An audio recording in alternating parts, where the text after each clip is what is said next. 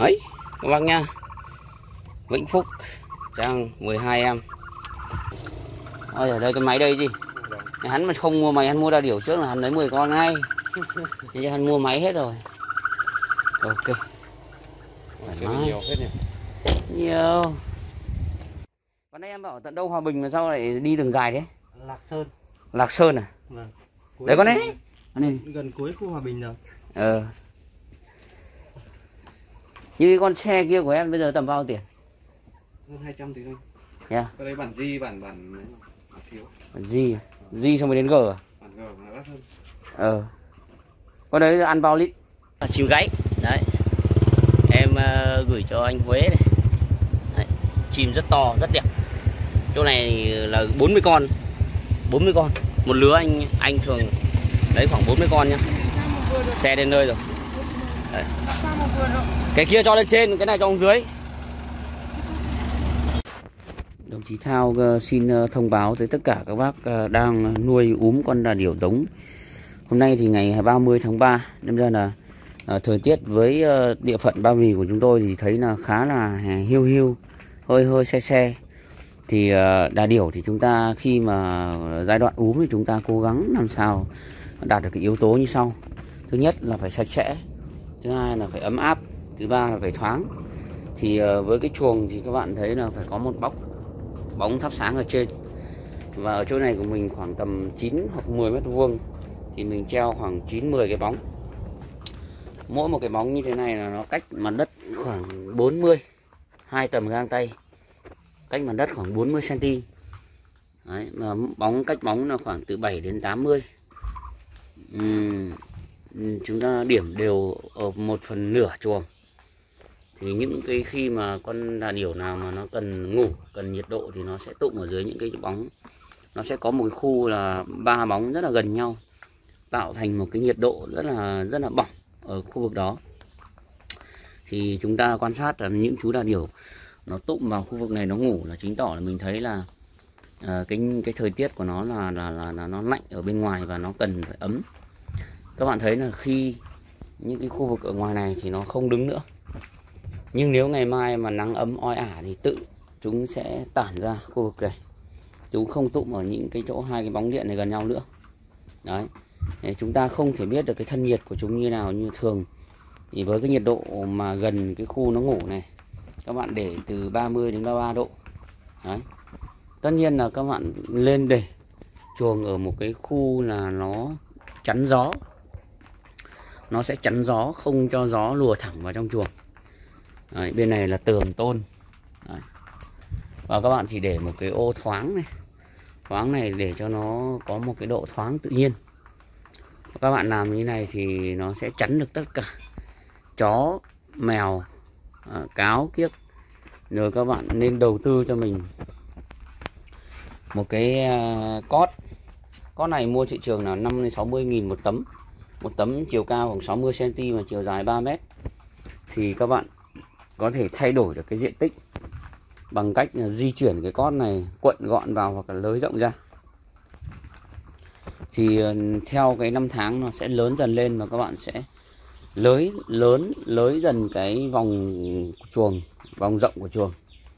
Đấy, các bạn thấy như hôm nay, sáng hôm nay là 30 tháng 3 thì em thấy là cũng thời tiết nó hơi heo heo một chút, như hôm qua mình thấy, em thấy nó tản ra rất là rộng. Như hôm nay em thấy nó tụm tất vào cái khu bóng này, chứng tỏ là nó đang lạnh, nó đang cần phải nhiệt. Thì nếu như chúng ta mà không đầu tư bóng thì con chị, con đà điểu nó sẽ bị thiếu nhiệt. Mà dấu hiệu của cái con đà điểu thiếu nhiệt đầu tiên nó sẽ bị khô chân khô chân và chảy nước mũi. Đấy. Nhưng ngược trở lại, nếu như các bạn để cái diện tích chật hẹp quá, cái nhiệt độ bóng nó nhiều quá ừ, nó sẽ bị thương hàn các bạn nhé. Đấy nên ra là chúng ta phải biết là con đà điểu nó phải có một cái không gian để nó vận động. Đấy thì ví dụ như cái chuồng như này thì em phải để ra những khu ngoài này là nó không có bóng. Đấy thì những con nào mà nó cần ngủ ở ngoài hoặc là cần vận động thì nó sẽ ra ngoài này. Đấy thì uh, báo cáo với các bác là đây là một cái chia sẻ chân thành chia sẻ hết mình luôn. Đấy em đầu tư mấy cái tấm này là em cứ di chuyển di chuyển thôi các bạn đầu tư khoảng ba bốn năm cái tấm này thì các bạn thao hồ mà di chuyển. Đấy. Với cái mật độ uh, gợi ý đấy đấy ví dụ như như thế này là chỗ này là khoảng tầm 60 con thì chúng ta đang sử dụng 10 mét vuông đấy 10 mét vuông và chúng ta đang sử dụng 10 cái bóng đấy. thế thì các bạn thấy là khi chúng ta quan sát thì chúng sẽ um, tụm vào như này là chính tỏ là hôm nay là ngày à, gió mùa đông bắc rét thì chúng ta lên Ờ, di chuyển cái cái cái cót nó hẹp lại để cho cái những con nó không di chuyển ra ngoài này là bao nhiêu cả. Đấy. Báo cáo các bác là như vậy. Thì uh, đa điểu thì nó là nguồn gốc của bên châu phi. Nó là xứ nóng nên ra là cái nhiệt độ của nó thường là trên 30 độ. Đấy. đấy mà thường là chúng ta mà làm chuồng mà nó không kín gió thì uh, khi nó nở ra khỏi quả trứng một thời gian đầu thì nó còn nhỏ cái thân nhiệt của nó chưa đủ để nó tự sưởi ấm. Nên ra là các bạn phải che gió đấy, thắp bóng sưởi là chuyện đương nhiên. Còn cái máng thì các bạn thấy là chúng ta đang để một hai viên gạch chỉ nằm xuống và cho vào cái máng gốm như thế này. Đây. máng gốm như này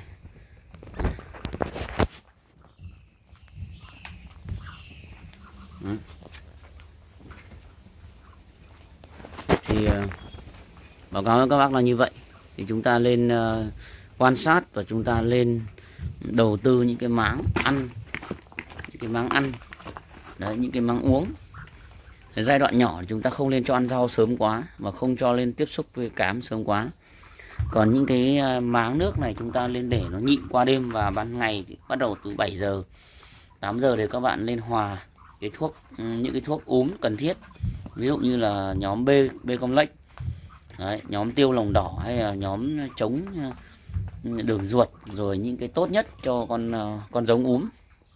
Chúng ta hòa vào đây. Đấy, chúng ta hòa vào đây thì ờ, nó nhịn qua đêm thì sáng ra nó sẽ có nhu cầu uống nước rất là nhiều. Thì cái lượng thuốc nó sẽ vào cơ thể nó rất là nhiều. Đấy báo cáo các bác là như vậy.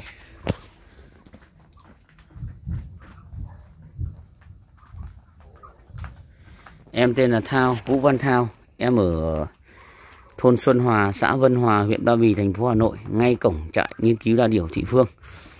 Đấy, các bạn có thể liên hệ cho em là 033 5305 982 0989 177 982 kênh của em là kênh con giống đà điểu em có như khả năng à, ship toàn quốc cho các bạn và có khả năng cung ứng con giống với số lượng nhiều dành cho các bạn nuôi nhiều nuôi kinh tế. Đấy ít à, em cũng chuyển.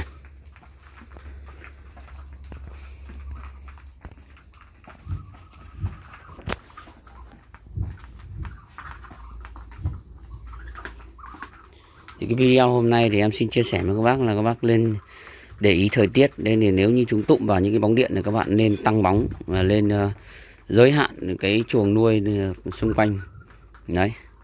Và lên che gió che chắn gió vào. Có lẽ là em xin dừng video tại đây. Mong rằng các bạn ờ, bấm vào nút chuông và bấm vào nút đăng ký để tiếp tục nhận những video mới nhất của em. Thời điểm em đang quay cho các bạn đang xem đây là cuối tháng 3 ngày cuối cùng của tháng 3 năm 2020 rồi ngày 30 sang tháng tư thì con giống sẽ rộ hơn sẽ à, mềm giá hơn một chút. Đấy. À, hy vọng rằng các bạn có thể là tiếp tục là những bạn người bạn đồng hành cùng với thao chim con giống đa điều. Các bác thân mến nay là 30 tháng 3 em ship chuột cho các bạn. Đây là 8 con. Trong này em có đựng cả cỏ cho các bạn nhé. Đấy khách hàng này là 8 con. 8 con ba con trống năm con à, à, mái. Số điện thoại là 0983 372 869 Đây, cỏ. Rất to đẹp rất to đẹp.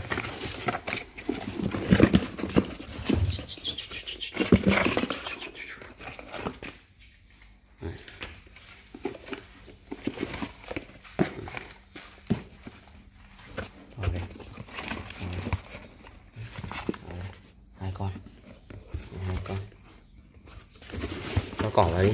Ra đấy cỏ, quấn quấn vào đây. Cho vào đây luôn, quấn gõ luôn hai tầm vào đây.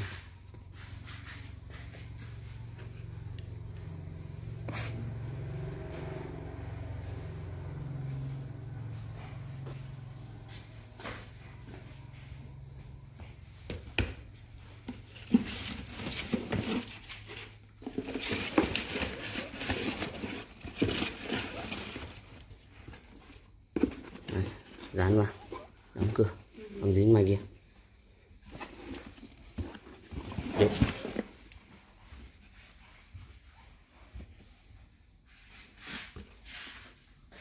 các bác mua chuột lang liên hệ cho em là 033 53 05 982 đây bóng dính như này.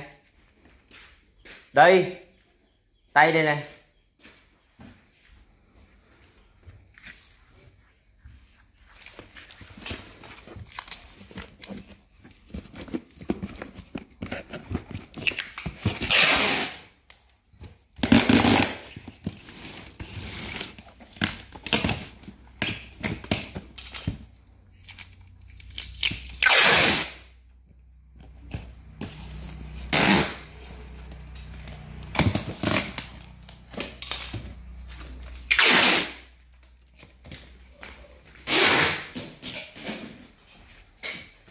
Đây là cái kênh ờ, chuột lang bọ ú của em nhé. Em ship hàng luôn cho các bác. Các bác thân mến, thì một trong những cái điều mà em muốn ờ, chia sẻ cái video này đến cho các bác là một số các bác khi mà mua về thì những cái giai đoạn nó còn nhỏ để các bác ờ, lên đầu tư những cái cót như thế này. Cót như này mua thị trường khoảng 50.000 một tấm, cao 50 uh, cao 50 60 và dài 3 mét. Các bạn quay thành cái vòng tròn bằng tầm với các bác phần 10 10 con các bác chỉ quay vào bằng cái chiếu mình ăn cơm thôi. Và trong thời gian đầu thì các bác không nên để cho nó ăn rau nhiều không cho ăn rau. Sau khi về các bạn uống cho như, như nứa như này các bạn về các bạn thắp bóng cho cho cho em như thế này. Bóng cách bóng là khoảng 70 và bóng cách mặt đất là khoảng 50 và trong một chùa trên chuồng thì các bạn nên để có một cái khoảng ở ngoài này không có bóng. Có một khoảng thôi, một một phần tư thôi. Có những con là nó nó thích ngủ ở ngoài này. Đấy, còn có những con nó thiếu nhiệt thì tự nó sẽ phải ngủ vào nhau. Nó bông vào nhau như thế này. Thực ra nếu mà cái dấu hiệu để nó thiếu nhiệt thì các bạn nên nhớ là nó sẽ bị khô chân và nó sẽ bị chảy nước mũi. Thì đầu tiên là các bạn giai đoạn này các bạn cố gắng là không nên cho ăn rau, bởi vì cái hệ thống à, tiêu hóa nó chưa hoàn thiện giai đoạn à, nhỏ thì các bạn nên ờ, chủ yếu là giữ được cái nhiệt cho nó và nếu là dùng thuốc úm hoặc là thuốc ờ, những cái thuốc tiêu lòng đỏ hoặc thuốc ừ, hỗ trợ về cái hoàn thiện à, trong cái giai đoạn úm như kiểu da cầm nhỏ. Và nếu các bạn dùng thuốc các bạn lên à, dùng vào buổi ờ, 9 10 giờ sau khi nó ngủ qua đêm nó sẽ khát và đến tận 9 10 giờ các bạn mới cho uống nước và pha thuốc vào đấy các bạn thân mến đó là cái chia sẻ. Mình tuyệt đối các bạn là không được dùng vôi không được dùng chấu cho cái món đại điểu này nhé khi nào nó ỉa ra nhiều phân phân đen thì các bạn mới uh, bắt đầu là cho cát ra. Thường cái nền thảm như này nó sẽ duy trì khoảng 10 ngày. Đấy, khoảng 10 ngày. À, sau khi 10 ngày nền thảm thì các bạn sẽ để lại một phần một phần 2 phần 10 cái phần thảm ở giữa bóng điện này để tối nó ngủ thôi. Còn xung quanh là cát thì nó sẽ đi ra và cái chân của nó sẽ không bị dính phân và cố gắng là các bạn phải vệ sinh nó một chút trong cái chuồng đó. Cái kênh của em đang livestream cho bạn hôm nay là cuối tháng 3 chỉ còn hai ngày nữa là sang tháng tư. Và hiện giờ thì em cũng đã xuất bán ra rất là nhiều nghìn con giống rồi. Đây là một cái đơn vị khá là tin tưởng và đã cung cấp giống nhiều năm cho các bạn. Mặc dù tên ờ, trang trên kênh uh, youtube là chim cô gái hay những cái sản phẩm đà điểu này đã được chia sẻ những cái bài đăng. À, mình muốn à, đưa đến thông điệp đến tất cả bà con nông dân là chăn nuôi có lãi và làm theo những cái gì mà mình đã chia sẻ. Đấy các bạn thân mến đây là những chú đa điểu nằm ngủ như chết rồi luôn. Và lứa này của mình là gần 100 con.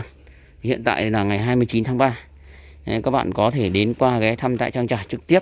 Đấy, tại à, cổng trạm nghiên cứu đà điểu Thụy Phương Ba Vì thuộc thôn Xuân Hòa xã Vân Hòa huyện Ba Vì thành phố Hà Nội. Em tên là Vũ Văn Thao tên đầy đủ của em là các bạn cứ hỏi là thao chim cu gáy thì người ta sẽ chỉ tận nhà từ đứa trẻ con đến ông già đều biết hết cả. Đấy. Em ờ, phát triển kênh chim cu gáy nhưng mà mấy năm nay à, làm ăn khó khăn đà điểu nó sốt đâm ra em cũng làm về kênh con giống đà điểu. Mà đã làm cái gì thì em làm đến nơi đến chốn. Đấy. Em không làm uh, một cách hời hợt đâu em làm đến nơi đến chốn.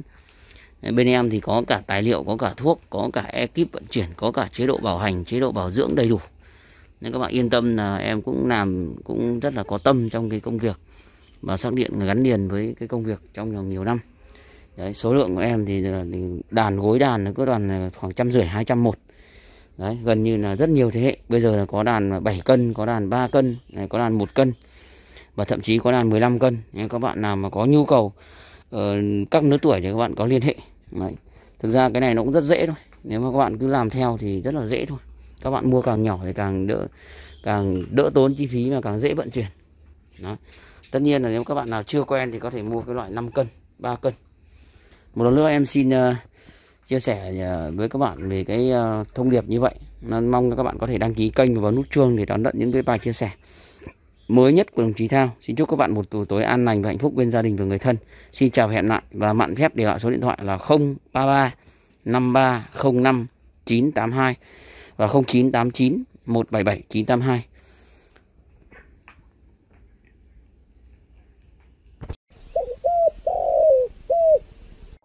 Yêu sao tiếng gáy chim cu, gầy đà bể nước lời du của bầm.